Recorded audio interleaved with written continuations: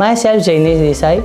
I am a research scholar in Bhagwan Mahavir College of Advanced Research Center, Bhagwan Mahavir University in the field of computer applications. Today I would like to share my 3 years journey uh, as a researcher. I was enrolled in 2020 under the guidance of Dr. Sanjay Buch sir.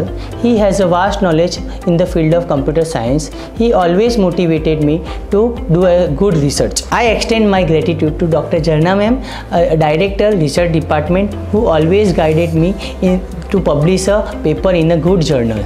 Dr. Vinit Jain sir, Dean Research Department, who always helpful and support me throughout my uh, whole three years uh, research journey. Finally, I completed my doctorate on 11 December 2023 in the area of image forensic. So finally, it was very wonderful and knowledgeable experience in uh, in the Bhagwan Mahavir University. Uh, thank you, Bhagwan Mahavir University and Research Department, who give me opportunity as a researcher. Thank you all.